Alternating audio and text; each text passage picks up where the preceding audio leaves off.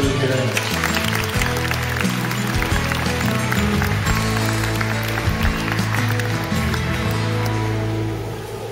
how y'all doing? Good. All three of you. That's good. Appreciate that. How y'all doing? Good. Listen, I'm excited to be here. Uh, I do want to tell Mr. Hopkins I appreciate the opportunity. You know, I should get a standing ovation because you guys are out of class, and actually, I prospected you guys to come speak to you.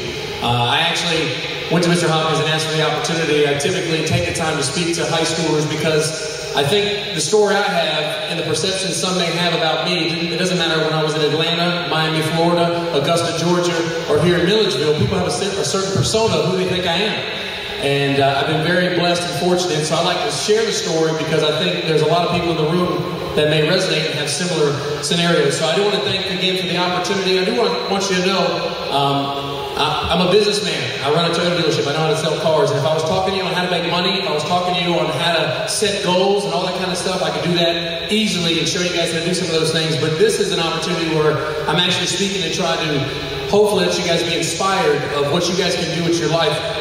What I ask of you to do as you're listening, do me a favor. Each of you are blessed with a dominant gift.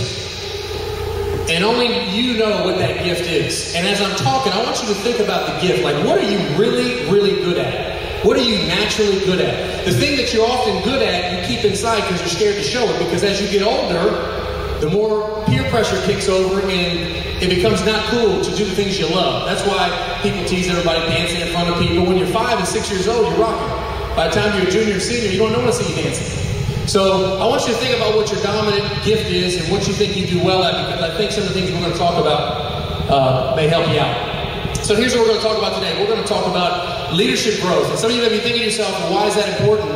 Well, really, leadership growth is really personal growth. You become a good leader when you grow personally. And some of you are, are a leader in your own house. You're a big brother, you're a big sister. And as you get older, you're going to need to know this thing called leadership growth. So we're going to talk about that a little bit. We're going to talk about your value because unfortunately, I think some of you in the room may think your value is this big. And the reason why you feel that way is because your friends and sometimes your parents in some way tell you you got no value, you can't do it. So we're going to talk about that. We're going to talk about your life. We're going to do a little storytelling. I'm going to tell you my story, and then I'm going to hopefully share with you how you can create a great story for yourself.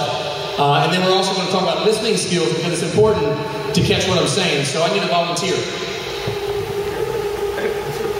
I need a volunteer. I need a volunteer. I'm waiting. Anybody? There you go. Thank you. I appreciate it. You can sit down. I need a volunteer. Okay, so let's just examine what just happened. We asked for a volunteer, we've got a public setting, and all of a sudden the fear creeps in. But see, that's what happens as you get older in life, in your job, in college, people want you to stand up for something, and everybody sits on the sidelines. So notice, in life, when you get out of the sidelines and get in the game, that's how you get paid. That's how things happen. So examine as you sat there, nobody wanted to do. A few of you did, and I acknowledge that. And you did as well. So we're going to do a little listening test, we're talking about listening skills. You a good listener? You're not? well, let's give it a shot, okay? I'm going to tell you a word. I want you to repeat the word when I ask you to repeat it and spell the word. Very easy word. The word is silk. What's the word? Silk. The word is silk. Spell the word silk. S I L K. Okay, the word is silk. What's the word again? Silk. Spell the word. S I L K. Okay, what's the word? Silk. What do cows drink? Milk. Okay. We gotta listen because cows give milk, but they drink water. That's why we gotta listen. So it's important. It's important to realize that as I'm talking, make sure you pay close attention because there'll be some things that could go over your head and you could be drinking milk and you should be drinking water. Thanks for playing. I appreciate it. All right, give them a hand, guys. All right. Let's crank this up.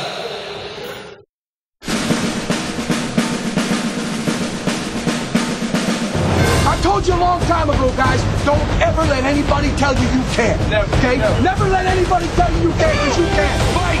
That's all I've asked you to do, is fight for me with everything you're worth.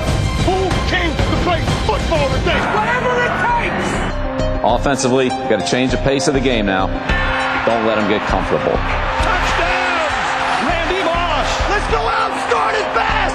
Leave nothing on the field. Come out swinging. Cardinals blocked it. It's picked up. It's a touchdown. Cardinals win.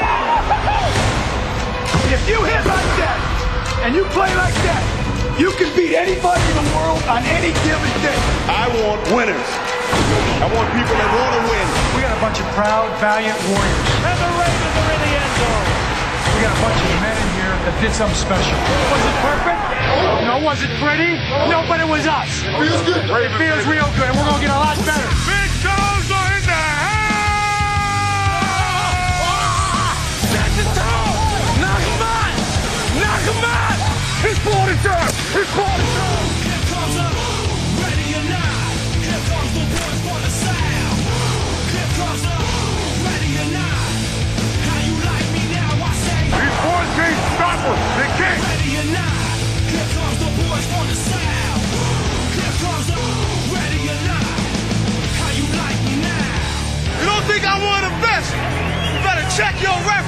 Lead us, baby. Lead us. Lead us. We'll follow. Okay, all right? Make a call and do it with conviction. Conviction, like you know what you're doing. Gonna throw deep. Near side going for Fitz. He's in double coverage. It doesn't matter. Touchdown, Why not us?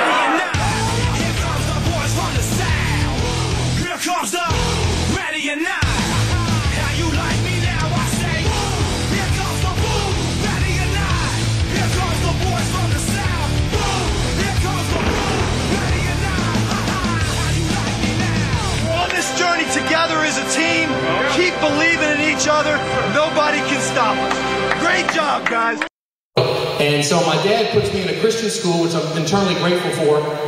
And uh, and so I go to Hollywood Christian School, and I remember first going to that Christian school, and they used to talk about this Jesus thing all the time. And quite honestly, it freaked me out. I mean, I had didn't want nothing to do with it. And I'd sit in, we didn't have assemblies, we had chapels. That's what we had. We had someone come in, they'd speak about the Lord or whatever. And I remember that I had this huge pain in my heart because I'm living in this environment every day. I go home, I go to this Christian school, everything was nice and rosy. And then I go home and it'd be chaos.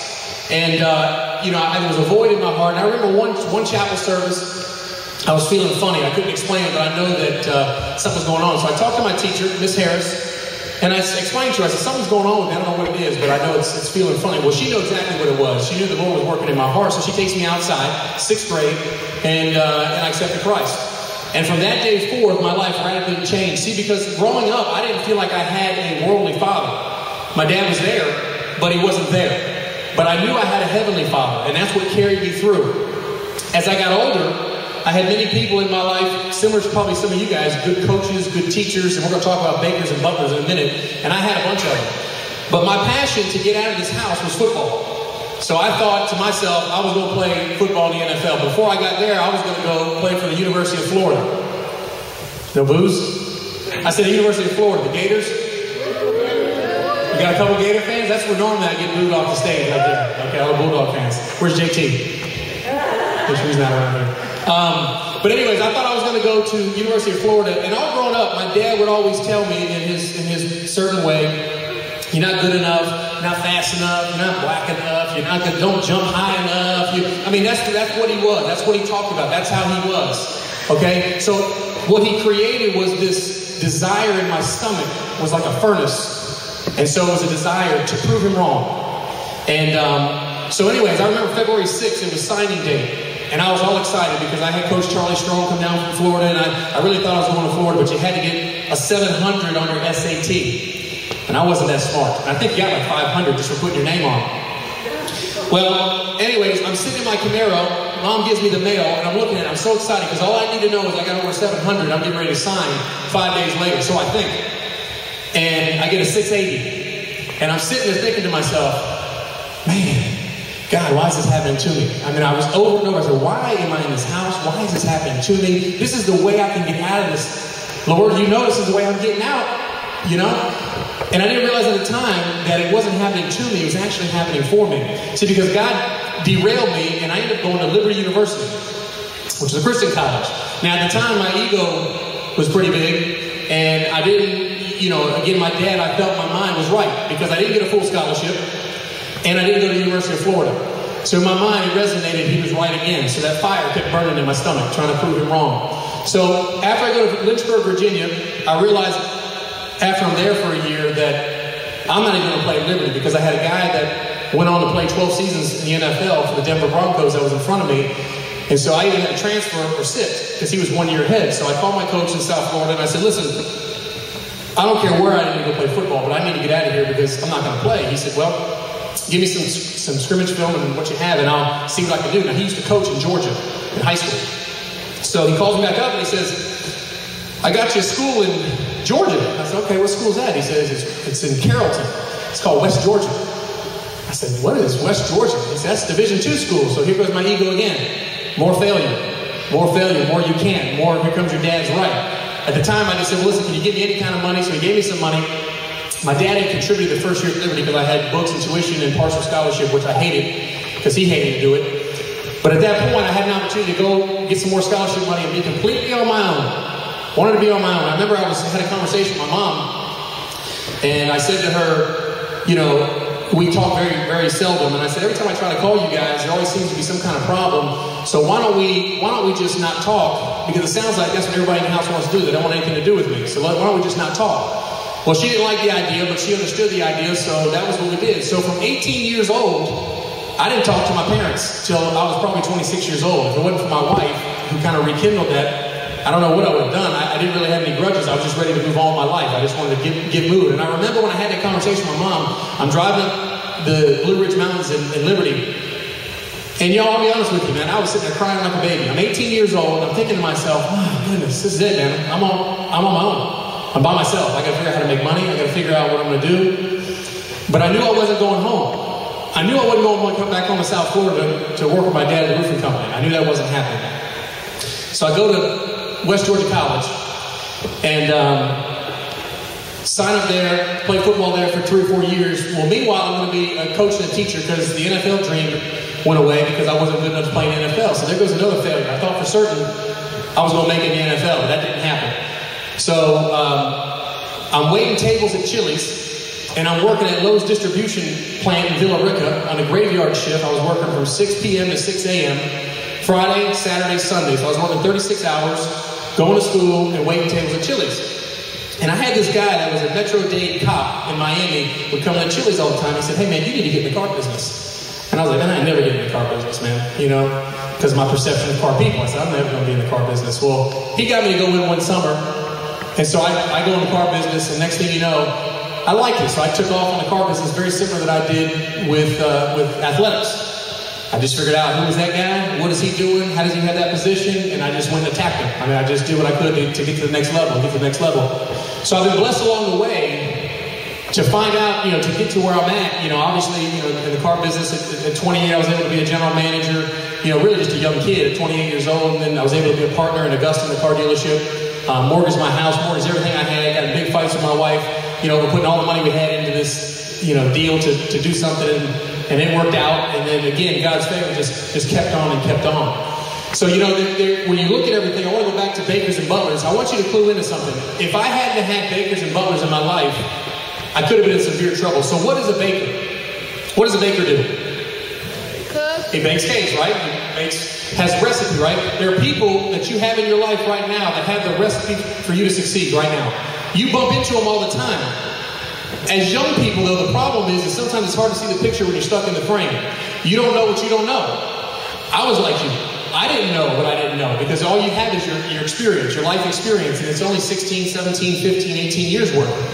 So these people that are bakers that are in your life, coaches, teachers, uh, friends of uh, your friends' parents, uh, folks at church, people that you know in the community, these people are reaching out to you. Somebody right now, somebody sitting out here Somebody's going through something and somebody's reaching out to you and you're not listening. You're avoiding it for whatever reason. I don't know what it is. But open up to them. You got to understand that there, there are bakers in your life. There's also butlers. You guys know what a butler does? He serves. Right? He serves or he opens doors, right? You got to look for the butlers because those are the doors that are going to be open. You got to find the opportunities. And the butlers are all around you. He's going to open doors for you as you get older. Okay?